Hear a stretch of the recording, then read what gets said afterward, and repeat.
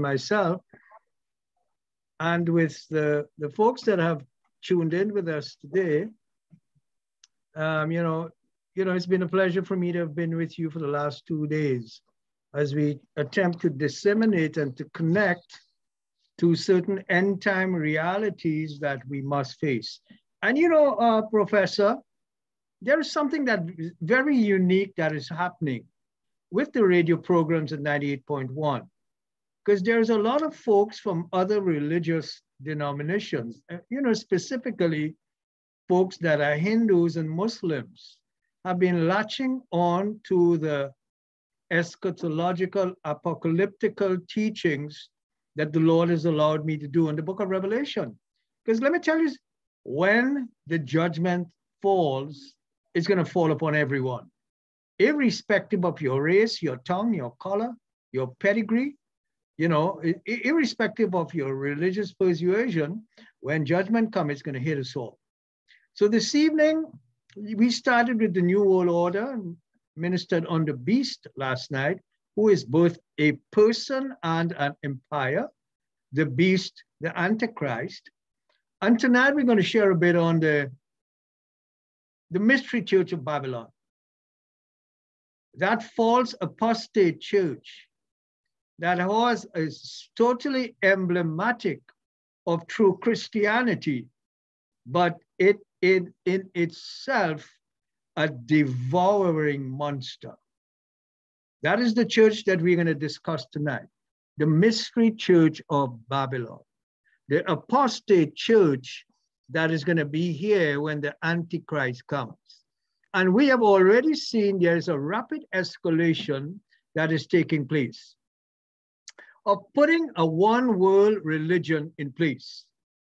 Now, it has been a thought for many centuries. It began with a guy by the name of Nimrod in the Bible, in the book of, hear what I'm saying, the mystery church of Babylon. It began in the days of Nimrod.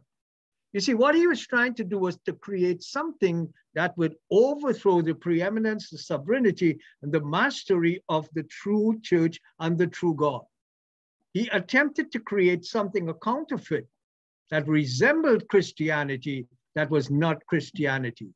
It was the very sad thing that that that that that that that, that Roman Constant, you know, Constantine attempted to create with Catholicism when he saw Christianity becoming a prevalent force. So he designed something that resembled Christianity but in essence, it was really a biblical scriptural mockery of the unbridled, unadulterated, un, you know, unleavened truth.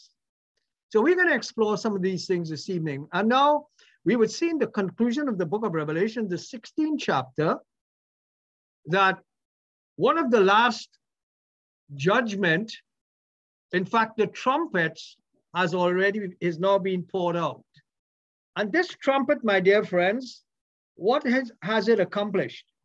You see, we are getting into the seventh judgments of God upon a world that had rejected him.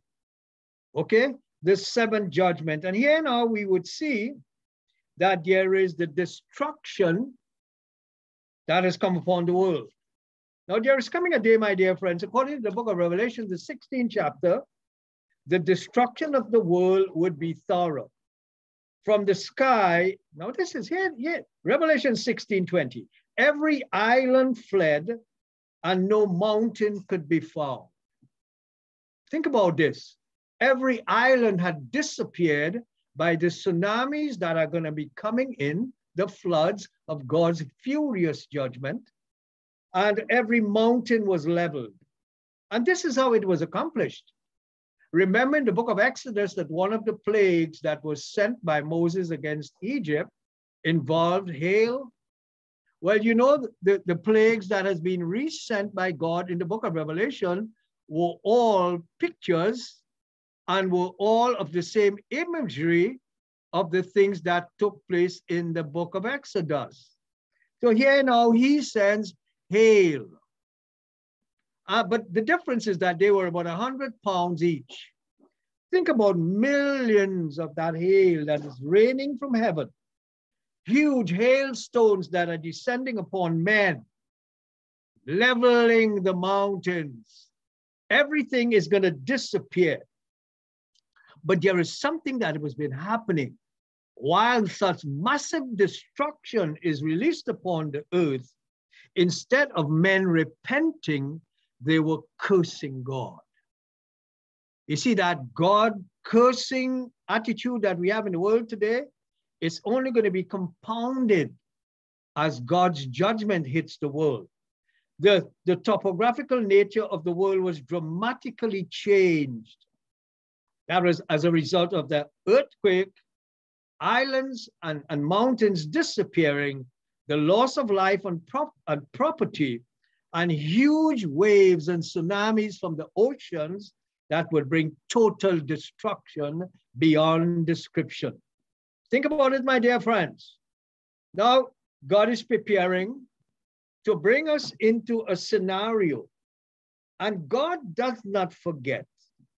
You hear what I'm saying to you, my dear friends? One of the worst things you could do is to hurt a child of God. He says, Touch not my anointed, do my children no harm. One of the worst things you could do, my dear friends, is to mess with God's children. Come on. And let's look at the book of the destruction now. He remembers. Okay? He has released seven seals. He has released seven trumpets on the world. Judgment. We have seen, I, I spoke a bit about the book of uh, Revelations, the 8 and 11. You know, there is an asteroid that's going to hit the earth and it has already been determined, Professor, this asteroid is known as wormwood. The NASA people detected it and they called it Apophis. You know what is the meaning of the word Apophis? Apophis means chaos. When they called that asteroid in the book of Revelations 8 and 11 wormwood, it is an asteroid that is scheduled to hit the Earth on April the 29th of the year 2029. And where it's going to hit, it is scheduled to fall somewhere around the Hollywood area. You see them Hollywood people with their carnality, they are driving policy. They are some of the secret people that are working behind the corruption and the acceleration of the Antichrist culture and movement. You see those people that are with their wickedness and their wife swapping and their abject hate for God. I'm telling you, there is a judgment that's going to hit that place. That's going to be God's fury unleashed against that rebellion. So here God begins to speak about something that he has had in his mind for a long time. You see, he speaks now of the destruction of Babylon. There are different aspects to Babylon. There is a religious ecclesiastical Babylon. There is a political commercial Babylon. And there is an empire called Babylon. And let us examine these three different sections of Babylon. So here is an angel. The angel says unto John, and he introduces him to the judgment of this woman to come. And I'm going to read to you about that woman. And one of the seven angels who had the seven bowls came and said unto me, Come, John, I would show you the punishment of this great prostitute who sits on many waters. With her kings of the earth, she has committed adultery, and the inhabitants of the earth were intoxicated with the wine of her adultery. Now, check this out. Then the angel carried me away in the spirit into a desert. And there I saw a woman sitting on a scarlet beast that was covered with blasphemous names. And she had seven heads and ten horns. The woman was dressed in purple and scarlet, glittering with gold, precious stones and pearls she held a golden cup in her hand that was filled with the abominable things and the filth of her adultery. And on her forehead was written, Mystery, Babylon the Great, the mother of prostitute and the abominations of the earth. Let us explore this woman. And who is this woman? She is typical of the apostate church to come. There are many characteristics of this woman, but when it says that I saw that she was drunk with the blood of the saints, the blood of those who bore the testimony to Christ. She carried the blood of every martyr in her cup of filth. All of those valiant men and women who were beheaded, who were fed to lions under the Roman Catholic system, all of those that were destroyed in the Spanish Inquisition, which was basically a Catholic movement, the purging of the Jewish people. Come on, understand me. This was the blood that she carried in the cup. Hear what I'm saying? And she was in that golden cup were the atrocities of the ages that this woman had performed. Now, and here she is described as a prostitute. You see, when the rapture occurs, all true believers, now can I say it again? The true believers, not the make believers, nor the unbelievers. Now, let me just clarify what it what this is. You see, a true believer is one who lives by 100% of the word. Every jot or a tittle is applicable to his spiritual life, his conduct, his walk, and his destiny. Now, an unbeliever is the guy who would live and he would believe 90% of the word. See, he doesn't want to pay his tithes, so he's going to eliminate that. When the Bible says, let not your sun go down on your anger, come on, what does that mean? If you get mad in the morning with a brother or sister, yeah, you got to get it right by the end of the day. Don't let the sun go down on your anger. If that one portion of scripture is followed, you know there is going to be no war and differences in the world.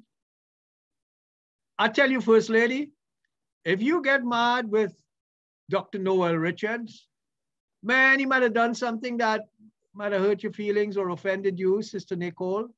According to the Bible, you've got to get it right before the sun goes down. Could you imagine that being applied to the church? I know ministers in Trinidad who have said to me, I would rather die than break bread with a brother or a sister who offended them. What an ugly betrayal of Christianity. You see, you know what spiritual maturity is? It's not how much Bible you know, how many doctors of divinity you got behind your name. What is spiritual maturity? That you could forgive as you are forgiven. Okay? So that is a guy now, he is an unbeliever. He believes what applies to him and his behavioral pattern. But then there is a third guy, there is a make believer. Man, he's going to spend his entire life in church. He's around the altar crying and weeping and speaking in tongues and rolling and bucking and tripping and flipping. He does not miss a prayer meeting. But he's like Judas. He is there for betrayal. He goes through all of the rudimentaries and the calisthenics of Christianity, but he is a make believer. So, who is going to be taken up in the rapture? The true believer. The true believer, my dear friends, is going to be the one that is taken up in the rapture. Now, and this woman, you see, this woman, what constitutes the church that she is going to be the leader of. It constitutes the apostate church. Okay? That church of apostasy, which would dominate politically and religiously what remains after the rapture. And that is going to be a church that is devoid of redemptive influences. That is the church, professor. That is the church, my dear friends, that the world would work with as hand and glove. The political institutions would work with that church. And as I speak to you this evening, deals have already been signed with a lot of the major religions that they are going to come together to form a one world religion. And I've said this, I've said it before. President Clinton, and I hate calling the name of these presidents, and President Obama. You remember that guy, Rick Warren, who wrote that book, Purpose Driven? Well, he sat down and they attempted to create a religion called Chrislam. Come on, Chrislam. It's going to be a combination of Christianity and Islam. If you read the Bible, my dear friends, you're going to know that conflict with Islam would only be solved by God. There's going to be no peace in the Middle East. Okay? There is no peace in the Middle East. There's going to be a false peace, but after three and a half years, the Antichrist is going to turn on Israel, is going to absolutely destroy this woman, this mystery church of Babylon. No wonder why I've been crying out to the churches. You better get into a church that is really a Bible believing. Come on, understand me. Get into a church that stands up for the word of God. And I believe that this is a particular directive to our Catholic brethren. Because as you would see this evening, this woman represents the Catholic Church, who is going to embrace all of the other religions, and together she would sit on the beast, riding along with the beast. I'd read it for you in a couple of minutes. And this is what John saw. He saw this woman on a scarlet colored beast. Uh, Professor, remember we had put up a logo for tonight's meeting? If you could yes. find it, you could just throw it up there so that people connect with it. You know, remember the, the, the, the that woman? She sat upon a scarlet colored beast with seven heads and 10 horns. What are the seven heads? Seven kings, seven continents, seven kingdoms, seven empires that has already existed and to come. Okay, this is the woman. She is sitting on that beast. She is obviously in collusion with the political empire that has been described in the book of Revelations 13 1 to 10. And the fact that she is sitting on the beast indicates that she is working with the Antichrist. She is working, my dear friends, with the Antichrist. As I said, hand and glove. And look at this woman. What is she wearing? She's decked off with jewels. She's dressed with purple, gold, and white. What is the color of the mitre of the Pope?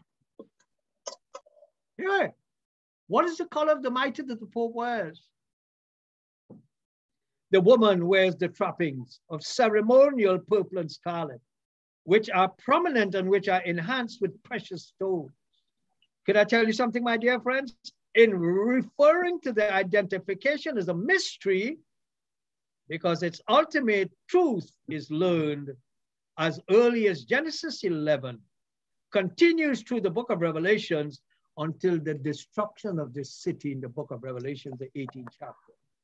Now, Babylon is the title that covers every false claim to Christianity and every false religion. You see, Babylon has clearly crept into the church. And much of what's going to take place in this church of the end time, the apostate church, would be Babylonian rites and religious practices in its totality. You see, when Babylon was introduced in the book of General Genesis 11, her true character was revealed when she chose to build a tower and the purpose of that tower was to exalt itself above God. I tell you what Nimrod thought. You see, he had lost his grandparents in the flood. So he was of the opinion that if he had built a tower that had gone higher than the flood, if God ever sends a flood again, his people would be saved. So in the process, his concepts and his religion would exceed the sovereignty of God. This was the purpose, my dear friends. So see, it should be borne in mind that the term Babylon applies to a, a religion. It also applies to a city and it, also applies to an empire. But let's check out this woman. You see, who is this woman? Who is she portraying? I believe that she is a portrayal of Semiramis. Semiramis. You remember that lady? You remember Nim Nimrod? Well, it is Semiramis that founded Babylon. And according to the belief, she had a son. And his name was Tammuz. Okay? And let me tell you, this woman knew the scriptures. When Tammuz was born, now she knew the scriptures. Here, this professor, the book of uh, Genesis 3 and 15, for the heel of the woman shall bruise the head of the serpent. It was the first messianic promise. So here she is. She had a son. Okay? She had a son, and his name was Tammuz. And it's reputed that he was born on December the 25th. And it was also established that he went into a forest on December the 25th when the equinox and the solstice and the, the thin veil, the clouds was thinnest that allowed demons to come down from the second heaven to the first without much difficulty. Thank you for that picture, Babylon the Great. You see the woman that sits upon the beast with seven heads. I'll come to the seven heads in a minute. He went to the forest and he met his father who had died. Now, his father was dead, but he claimed that he met his father at a certain tree, which is a, a, a replacement of the cross again. Here is he, the son. He's a type of Christ. Okay? The mother and the child cult was established. But this woman was so beautiful, my dear friends, like a Jezebel. You know, she is a, a you know what I would say, she's a type of a Jezebel spirit. Yeah, what? She's a type of that, uh, uh you know, of, of that uh, Semiramis and Ashtaroth and the Asherah. Hear what I'm saying to you? She's a temptress. You see, and years and year after year, the concept of a woman and child was incorporated in various religions. And they began to worship the woman and this child. And it was called the mystery religion of Babylon. And what happened when Genesis 11 had collapsed and Babylon was destroyed? If you study the migration of what took place, these were the said influences that traveled to the book of Revelation. There was a church that was called the Church of Pergamos. And this is where they established their roots. And could I tell you something about the Church of Pergamum? in the book of Revelation, it says that the spirits were so strong. The territorial rights of these spirits were so deeply ingrained and entrenched in Pergamos that the church could not have dislodged them. Such was the strength and the in-depth planting. It was irreversible, the containment of these spirits in Pergamum. So I'm trying to say this is the spirit that we have got to deal with when we speak of this church of Babylon. So the concept of this woman, my dear friends, and as Christianity came into contact with Babylonian religion, it created abject turmoil. And through centuries, there's been a tendency for the church to be anchored in the world instead of God. Modern liberalism has caused us to further depart from the scriptures. So there is coming a day, my dear friends, and hear me carefully. There is coming a day, and we are just around the corner, that Babylon would merge with Romanism. And what is Romanism? The Catholic Church. And it is going to be the basis of the mystery church of Babylon, Babylon the Great, the great prostitute, the great harlot. These are the, the other religions. And I tell you, if you look at what the Antichrist system and policies are doing now, you know, if you don't agree with same-sex marriages, they're going to cut all ties with you. And I speaking, I'm speaking of the UN. I'm speaking of the, you know, there is something that is called uh, the REM. Come on, understand me. there is something that we call the Great Reset that's coming. Well, one of the resets gonna come. They're gonna give you a memorandum. You gotta agree with this, this, this, or the other, or we're gonna cut ties with you. Economically, you are just a little banana country, so you really can't contend with the forces of the, you know, of the economic powers of the world. So in essence, we are going to be blackmailed into conceding to the tyranny of the major economic powers of the world. This is the system that is coming, and this is the influence of the one world order that is yet to come. But here, John is saying, when I saw her, I was greatly astonished.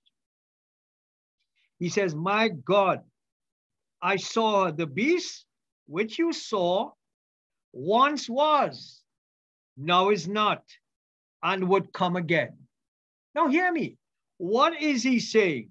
The beast that one was, the Antichrist has existed before. And he is not showing his face now, but soon he would. And he is yet to come out of the abyss and go on his destruction.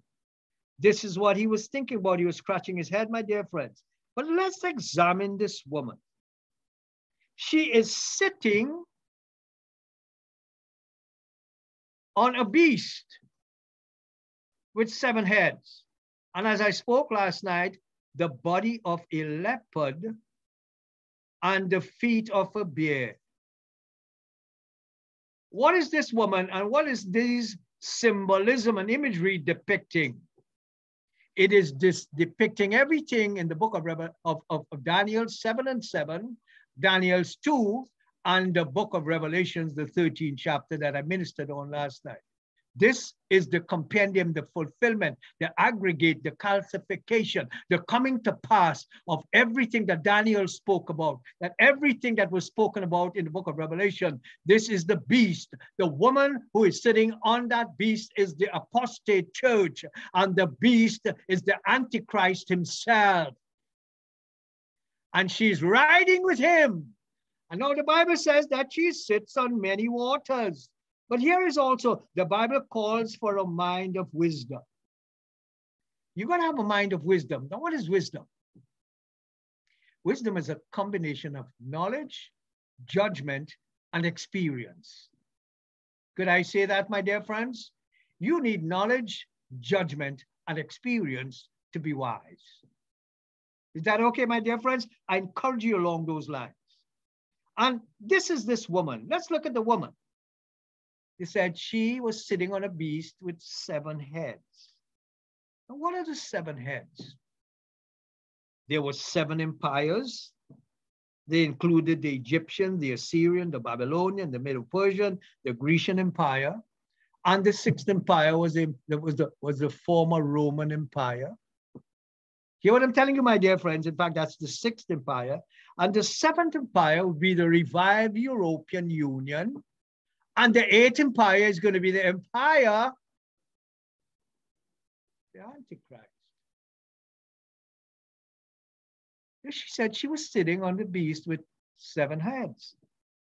Africa, Asia, America, South America, Australia, come on, understand me, Antarctica, Europe, she is sitting on many waters on every continent.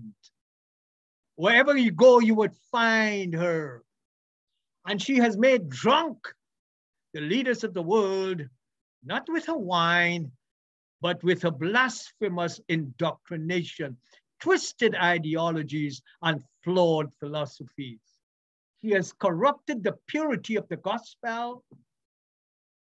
She has messed up the unbridled, undiluted morality of scriptural meritocracy and conduct, she has made it a free for all. You could do what you want. You got a one way ticket to heaven. Just come along and ride with me. Seven heads, seven continents, seven empires.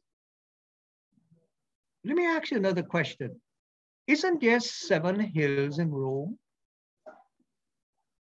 Rome is known as the city of seven hills.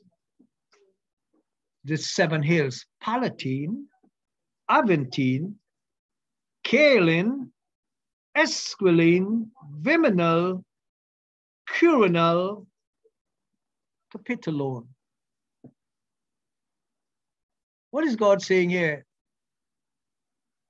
She sits on a city with has seven heads. And that seven heads embraces a spectrum of everything that you could possibly think about. This is the view that I would like you to have this evening, my dear friends. Here is a further statement that we must become a part of the apostate church. This is the woman. The angel declares that she got 10 horns. There are 10 kings. She has the world in her hands. This is the woman. She sits on many waters. This is the woman. And he saw she is a prostitute and she has swayed just about everyone the peoples, the multitudes, the nations, and the languages. She has indicated that she has promoted false religions. Come on. And uh, she has now become a political force and influence. But can I tell you? The Antichrist is only using her. When the Bible says to you, come out of her, get to a church that preaches the word of God that is governed by the Spirit of God. Go, my dear friends, to a place where you could be renewed by the Spirit. Do not follow this woman. My dear brethren, that I call the Catholic people, that you are so faithful to the things that you believe in. What a God, what, what a sincere people you are. But here I'm telling you, get out of that place. It is a place that the world and the devil is going to use to establish the apostate church, a one world religion that's going to bring havoc, damnation, destruction upon the world as never to come before. You got to get out of there, my dear friends. I'm saying this to you. I don't want to be controversial. It's just the truth of God. There are vials that are about to hit the world, friends. Let me just share this with you. Let's check this out. You see, the judgment of Babylon the Great, you know, it, it's kind of it's kind of ugly, you know, the, you know, but God knows best, okay? To call a church a harlot, to call that church a prostitute. You know, you, you know what I'm saying?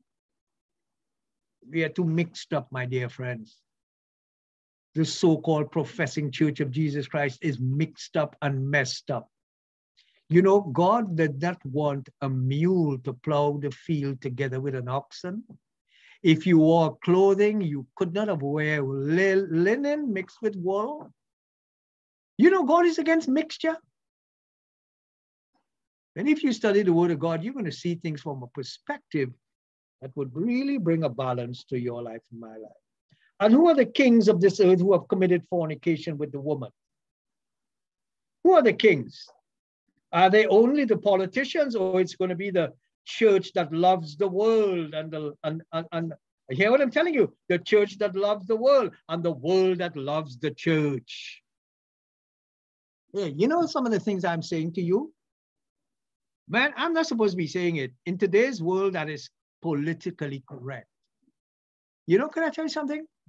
If you want to be politically correct, go ahead with your, your, your agenda, okay?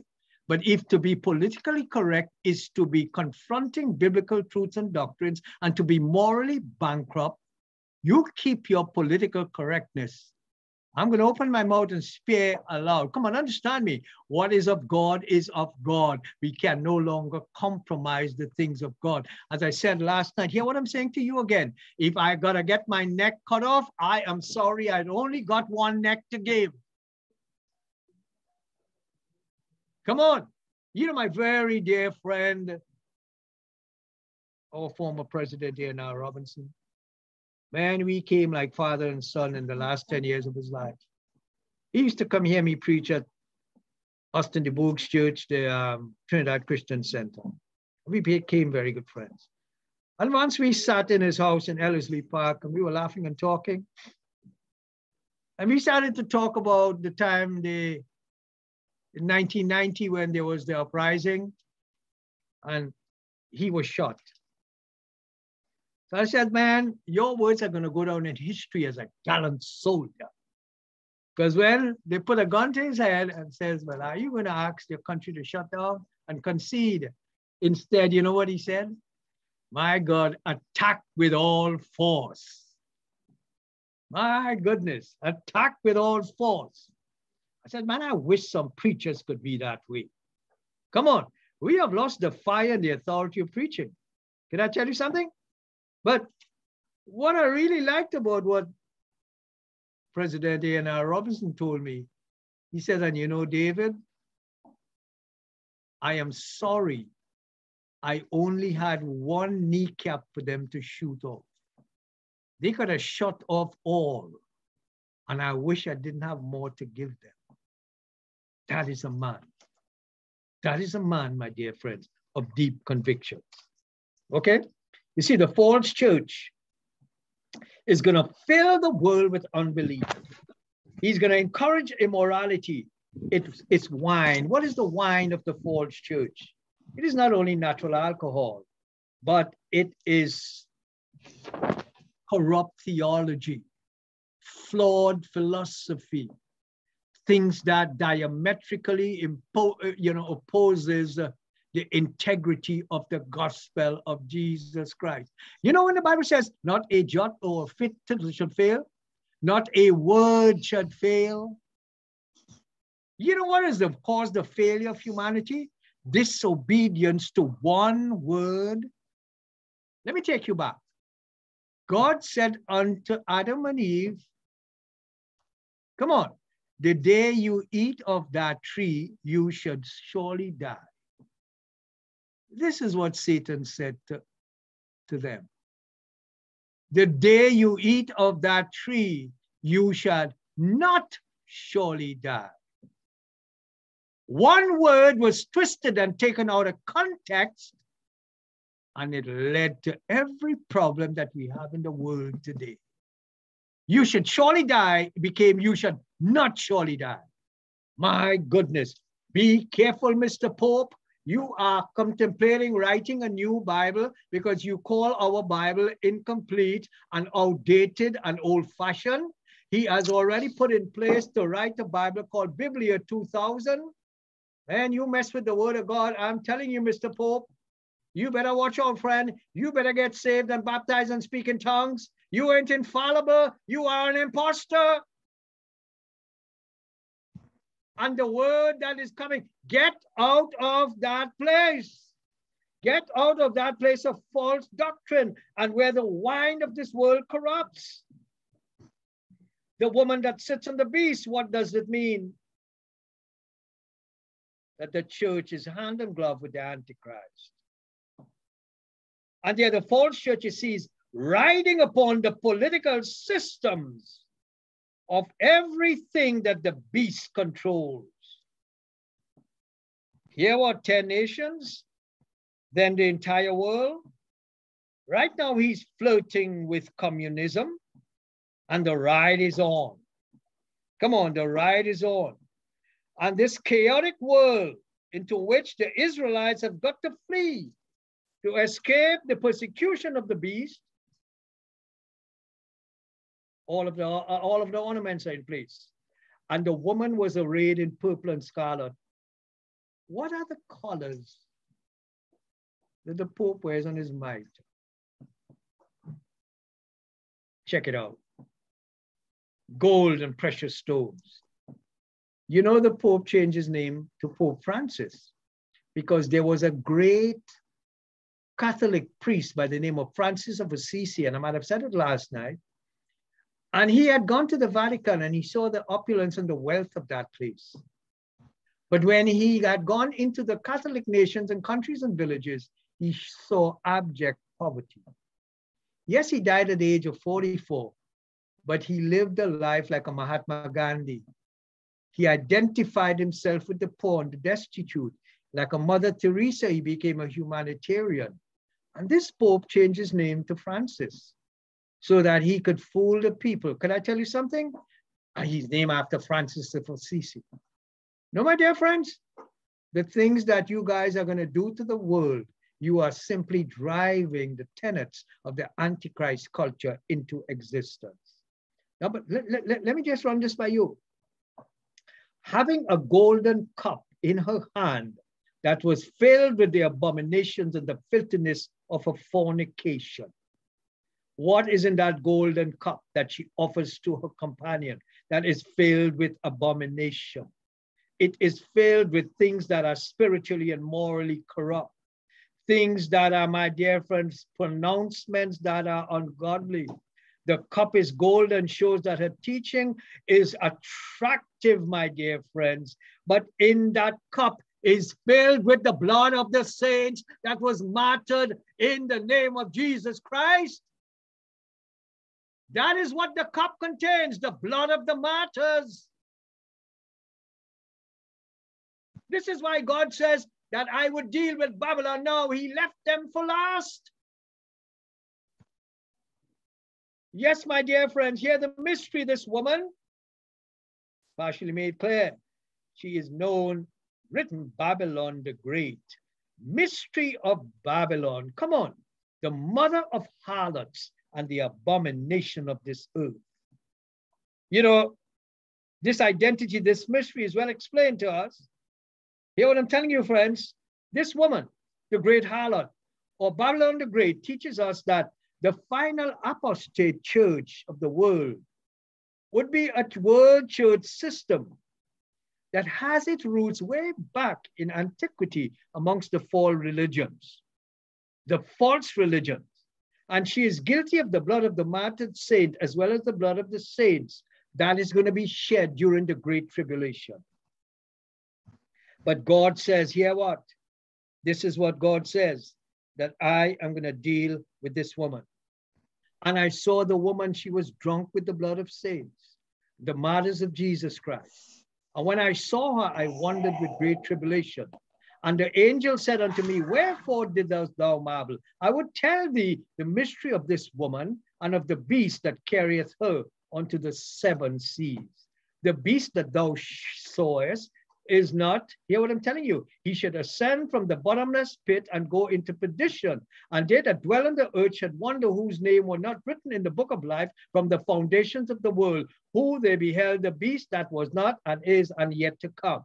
And here in the mind of that wisdom, the seven heads are seven mountains upon which the woman sitteth. What is the seven mountains? I called you the name just a while ago. They are the seven mountains, the seven hills of Rome. And there are seven kings. Five have fallen. Who are the seven kings? They are the five empires that existed before the Babylonian Empire, the Ottoman Empire, come on, the Medo-Persian Empire. Those are the empires that existed before, but there are two. There is still one, the Roman Empire. Yes, the foundation, the, they were destroyed, but the foundation is still there. And the empire to come is going to be the revived Roman Empire, which is going to make up this seven empires. She is in every continent. Harlot, the city of Rome, Caesars, the emperors, the councils, and the popes. Time would tell, my dear friends, that the harlot sits in this city, clearly indicating that the Vatican is the capital of the false religious systems of world today and the world to come. They don't want to say it like that no more.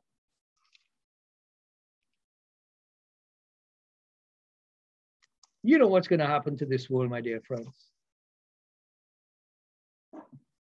Let me tell you. Speaking about the ecclesiastical Babylon. When the Antichrist is finished, the woman is riding with him right now. But this is what he said. After I got what I want from her, I am going to smash that woman to pieces. She's going to be powdered, and I'm going to take her clothes off and expose her nakedness and her falsity. You know, there is still honor among thieves. you know what I'm saying, my dear friends? Here, the Antichrist that has used this woman to get global control together with the technocrats and the, the media, the media mob, together with Hollywood, together with the secret societies and the secret orders and the Rosicrucians and the Freemasons and the Bilderbergs, come on, and the Ashoka from India, come on. She's going to use all of these things to get his culture into place. Everything now that has been entrenched in the world, Nancy Pelosi, Donald Trump attempted to drain the swamp. Now she has replugged the swamp and she's bringing in every corruptible thing that you could imagine. Hear what I'm saying to to you this evening, my dear friends. If you share an opinion today that is different than the mob, they would come and kill you. They would send, you know, and, and, and you know, today the police is being disbanded. They don't want police no more. And you know, that president, that old man, that president of America, you know, he wants to lock up people for marching in the, in the White House who were disgusted with a stolen election.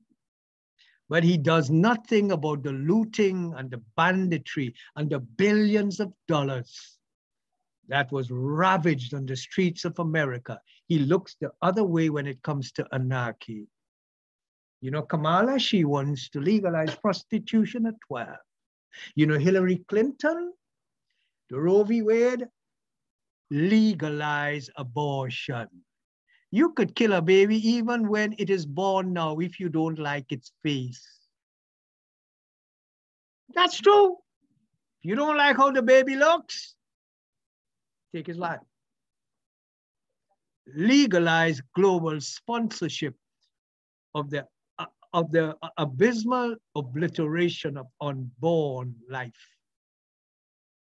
These are the things that we have in the world today, my dear friends. And these are the institutions that are being promoted. There's going to be a time of the 10 heads. And this, they should make war with the Lamb. And the Lamb should overcome them. Now, let me share with you about this now. That is the ecclesiastical religious Babylon. I believe its headquarters would be in Rome, the Vatican, the city of seven hills the beast with seven heads, the seven continents, she's on many waters. But I believe that there is also a, you see, Babylon is an empire. It's going to be the trading capital of the world, where every luxury of the world, where the harp is going to play his harp, it's going to be a place of entertainment and riches every form of immorality is going to take place there. Now, I've heard a lot of people say, no, do you think Dr. Karmody, do you think that the, this, uh, what I would say is this business Babylon, the commercial mercantile capital of the world, do you think it's going to be New York? Or, or, or could it be uh, Dubai? Or, or maybe even Singapore or, or, or London? Well, it's going to be, uh, it is said that, that Istanbul was one of the richest places in the Is it going to be one of these places that we're going to call the economic business Babylon? You know, I could be, one of my personal belief is going to be more than one place.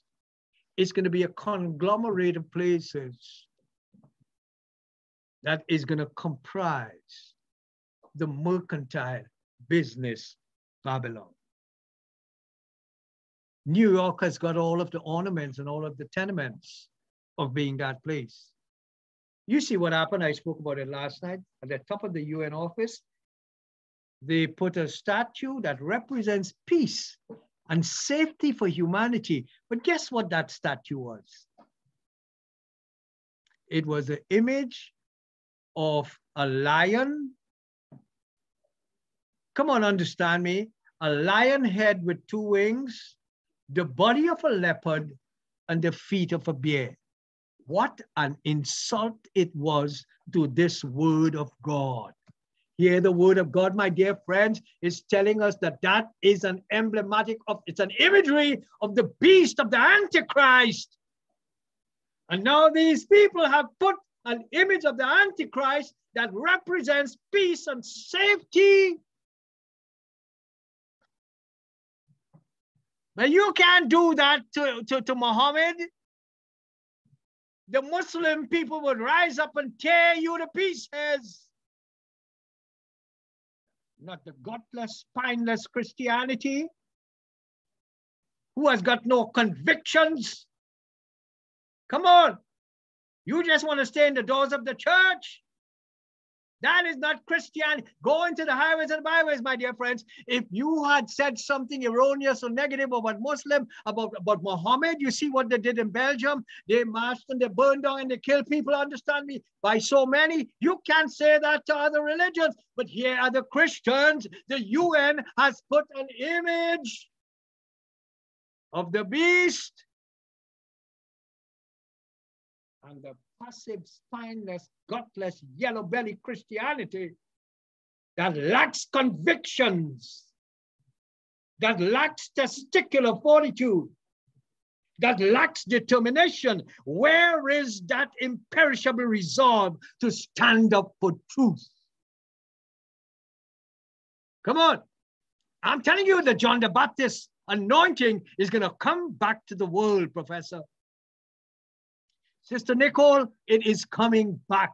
When Jesus came to the world, the forerunner of his entrance into the world, his first appearance was the anointing of John the Baptist. When he comes back the second time in the millennium, that same anointing of John the Baptist is going to be upon the two witnesses, Enoch and Elijah, and the 144,000 Jewish evangelists that's going to be raised up. Come on, they're not going to say, Good morning, friends, and thank you, brethren. They're going to start their sermons, and if you and live right, you're to die.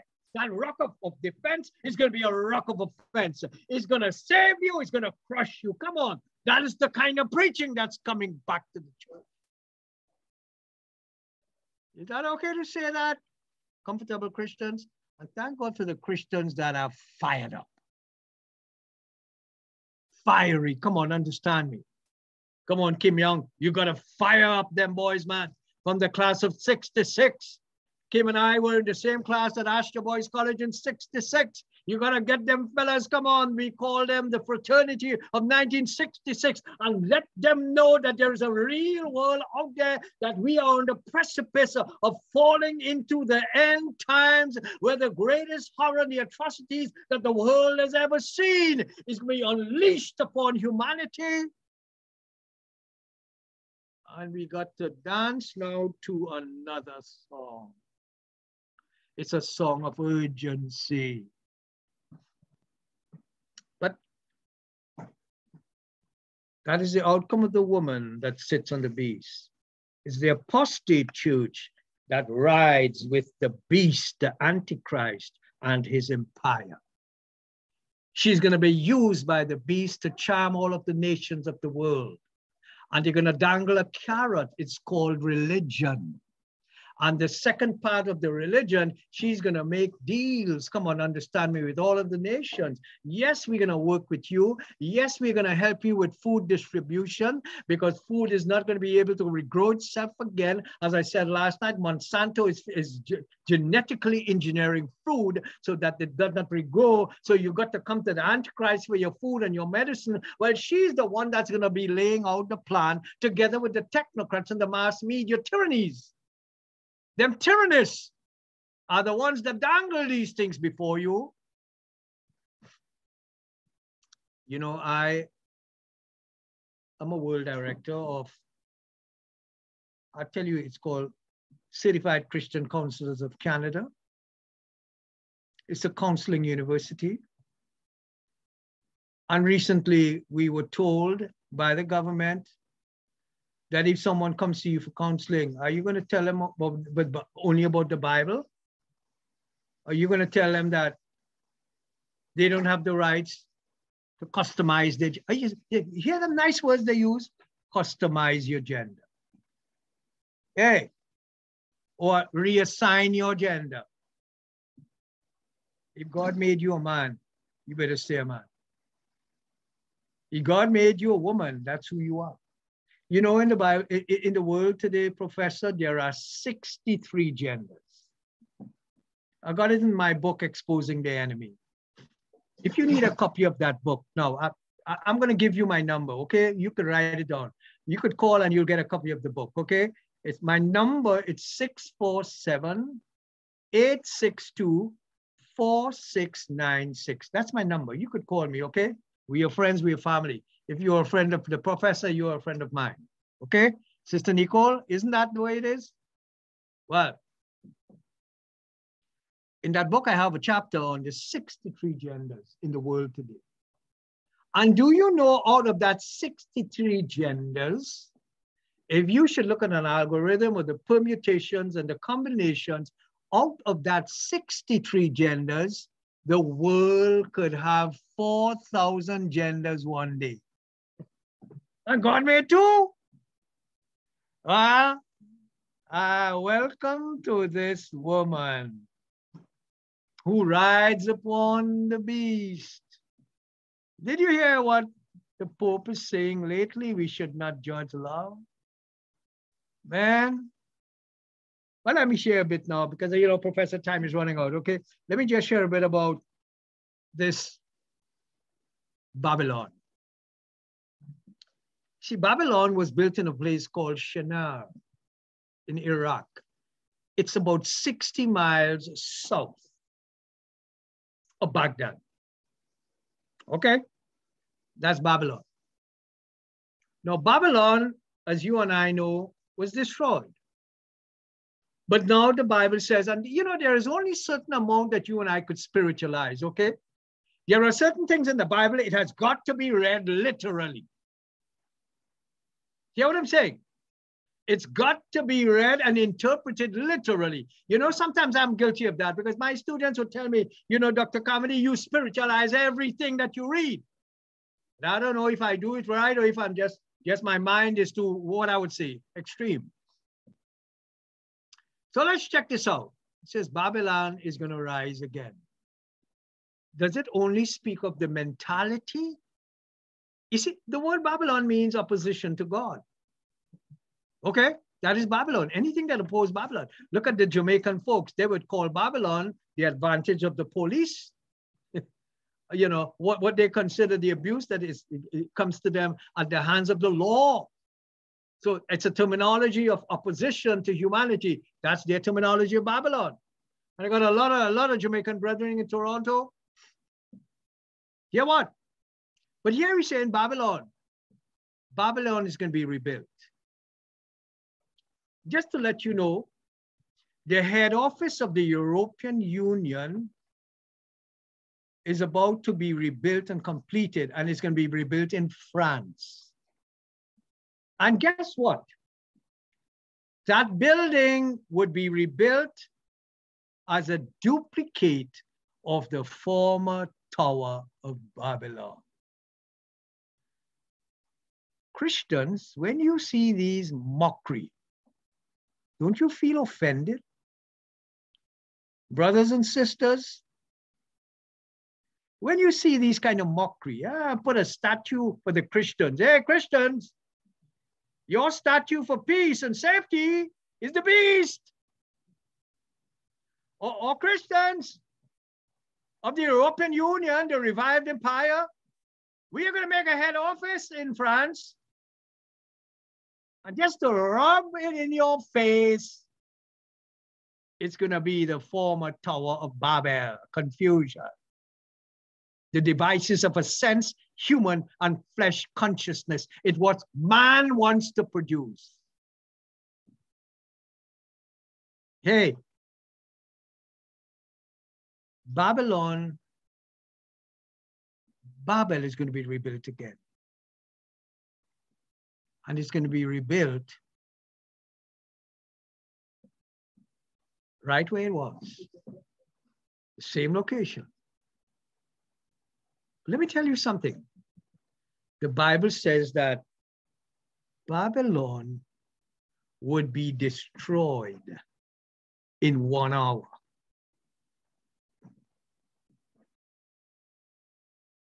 Is it speaking of a nuclear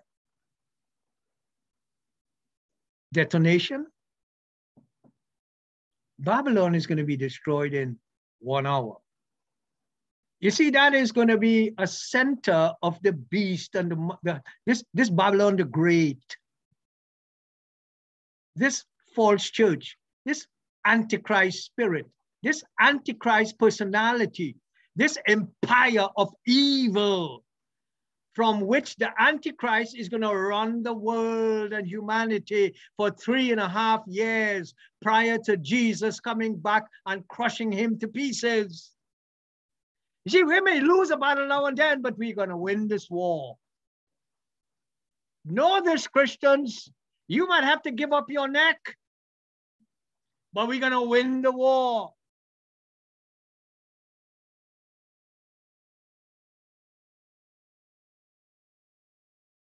You know, they discovered, Professor, that Babylon is going to be, re be rebuilt, that city, and it's going to be a great commercial capital of the world where everything you could imagine would be. You could have just about anything that you want. It's going to be rebuilt in the last three and a half years. For the last three and a half years of the 1260 days of the Antichrist domination, and butchering of the world. But hear what God says. Is it going to be a nuclear detonation? It's going to be some explosion that takes place. What's going to cause that place to be destroyed in one hour? Check your Bible out, okay? You know, recently a satellite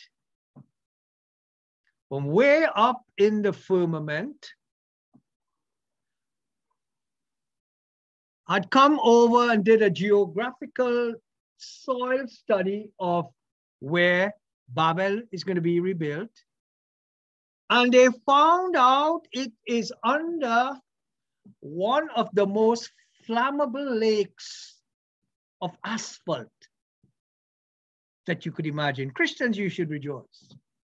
And I believe that's all it's going to take is a couple Buster bunkers bomb, like nuclear bombs, to be shot into the earth in that region. And that lake of oil and flammable material is going to explode, and Babylon shall be no more. Babel should rise no more because God has got a plan for that place. See it again, friends.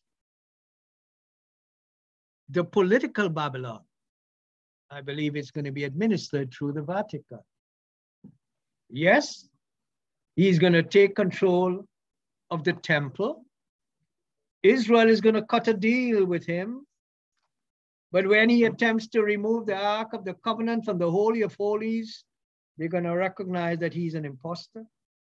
And this woman who has drunk the blood of saints and the blood of the martyrs of Jesus Christ, hear what I'm telling you, my dear friends. There is coming a day that the said Antichrist that she rides with now is going to turn viciously upon her. And he says he's going to destroy her, bring her naked in shame throughout the world. And the end of that harlot system would be greater and worse than it ever was. Now, let's check another thing before I get over with my commentary tonight. We need the mind of the spirit to comprehend certain things. Rome is the eternal city of seven hills. Okay? Rome is the city of seven hills. It is a place of the Caesars, the emperors, the councils, and the popes. That harlot that sits on that city simply is the one who creates all of the false religious receptacles and sways the world into her mentality. Let's look at this. These are the 10 kings. The Bible says the horns, the crowns, and the glory of an animal is its defensive weapon. In Revelation 17 and 12, and the ten horns which thou sawest are ten kings who have received no kingdom as yet, but receive power as kings one hour with the beast. Hand selected men, and they would have one mind and give their power and strength to the beast. It's going to be confederacy of the revived Roman Empire, and they would be enslaved to the Antichrist. My dear friends, in the book of Daniel 8 and 8, it speaks of the great horn. When, Daniel spoke of the great horn, what did he speak of? It represented Alexander the Great. And the little horn in Daniel 8 and 9, although some theologians have said it represented Antiochus Epiphanes, who was a Syrian monarch. No, my dear friends, I believe it represents the beast. The little horn with fierce eyes is going to be the Antichrist. And they said that he has got three bones in his mouth. Those are the three bones, the three little nations that he's going to crush. I believe it's going to be Ethiopia, Libya, and I don't know if it's going to be Egypt, but it's going to be a major country, one of the three. And it's going to cause the rest to fall into fear of him. And these 10 anti kings they would give complete allegiance to the beast. Is it only the European common market? As I close off this evening, the judgment of that great harlot, the mystery church of Babylon, the judgment of Babylon's end capital city. And after this, he says, I saw another angel come down from heaven, having great power, and he cried mightily with a strong voice, chapters 18 and 2. Babylon the Great is fallen, is fallen as it become the habitation of devils and hold every false spirit and a cage for every unclean and hateful bird or demon. For all nations have drunk the wine of the wrath of fornication, and the kings of the earth had committed fornication with her, and the merchants of the earth are waxed rich through the abundance of their delicacies, my dear friends. The merchants of the earth have become rich. They have drunk her wine. Come on, but it is all going to come to an end because God says that the end of Babylon, the wicked system that has lived in splendor and has lived in beauty and have lived in abundance, that system is about to become a place of graffiti. Come on, it's going to be a place that collapses and turns into an awful curse, never to rise no more. The beast, the harlot woman is going to be destroyed. Babylon is going to be destroyed. The economic, commercial, it's going to be destroyed. Yes, it's going to be rebuilt, but it's going to be destroyed. The revived Roman Empire is going to be destroyed. The political, commercial Babylon is going to be destroyed because Jesus Christ is supreme and he's going to reign and he's going to reign forevermore. Come on, say amen with me this evening if you're agreeing with what I say. Amen. So, my dear friends, this evening, it was a pleasure being with you. Could you just lift your hands to God with me this evening, my dear friends? And you know, I want to pray with you. I want to pray with you. Whatever you do, don't miss the rapture you know, I had so many people calling me and texting me today. Dr. Karmody, what do you mean that the Holy Spirit is going to be lifted at the rapture? Yes, it is. The Bible says, and the Holy Spirit is going to take a break from the earth. Now, hear what the Bible says. Hear, hear what the Bible says. A man cannot come to God unless he is wooed by the Holy Spirit. He's encouraged you know, the Spirit of God does a work on the inside of that man. That is the only way he could come to God. So if the Holy Spirit is not there, how is he going to come to God? Through his beheading? Make sure. Make sure, friends. Make sure that when the first ride comes down, remember again, let's clear up some theology. Jesus Christ is not coming to earth. The Bible says we would see him in the clouds. We would see him in the He ain't going to come back to this filthy earth and put his foot down here. Okay, not as yet.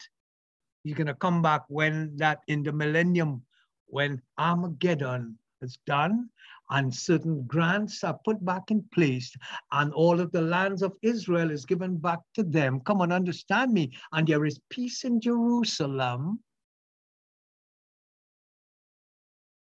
That is when he comes back. So whatever you do tonight, make sure that when that trumpet sounds, you're going to be on that first ride. Now, I could say this to you, but I believe that the first rapture, the rapture in the book of Thessalonians, is going to be more Gentiles than Jews on that rapture. Because the Jews are still arguing about receiving Christ. They're still veiled and blinded and dumb and foolish. They don't, they, they, they, they don't see Christ as the Messiah as yet. But there's coming a day they would. And you better love God's people. The Bible says, I'll bless them that bless them, curse them that curse them. Come on. One way of ensuring that you're going to be blessed is to bless a Jew. I'm a Jewish commentator, a Jewish educator, a Jewish typology, history, culture. I'm an expositor, revelator of that kind of thing. I believe that the first rapture is going to be more Gentiles than Jews. And make sure that you are on this boat and this ride that comes out of the earth. If you're not sure about your place this evening, just slip your hands to God with me. Just lift your hands to God with me and say with me, Father, tonight I pray the mighty God that you would release upon my life a grace, a grace, Father, of endurance, a grace, mighty God, of patience, a grace, dear God, a power to live right. I imbue and I receive, I inculcate and I invite the Holy Spirit to take absolute total control of my life. Let him occupy the highest places in my mind. I pray, dear God, that he's going to govern my spirit. Give me the ability to live right, mighty God.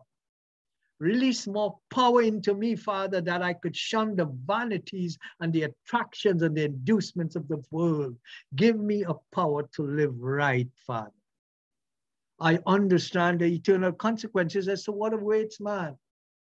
And tonight, mighty God, I repent, I confess of any errors or inconsistencies, abnormalities, peculiarities, or frailties that might have held me back in the past. But I commit my life to you once again. I submit my life to you once again. Father, take over on the inside. And I declare this in Jesus' name. Amen. Amen. I'd like to say hello this evening to Nico, to my good friend Esther, to the to the Augustins. I want to say goodbye, you know, to, to, to my friends. They got in from the Ukraine and from Bulgaria. I trust that you might have gotten in. And for all of you who supported the, the services, the last three, it was a pleasure ministering to you, my dear friends. And may God bless you as I turn it back to my dear brother, Dr. Noel Richards. Thank you, brother. Thank you. Thank you so much, Dr. Karmody. Thank you for, you know, for sharing so much with us.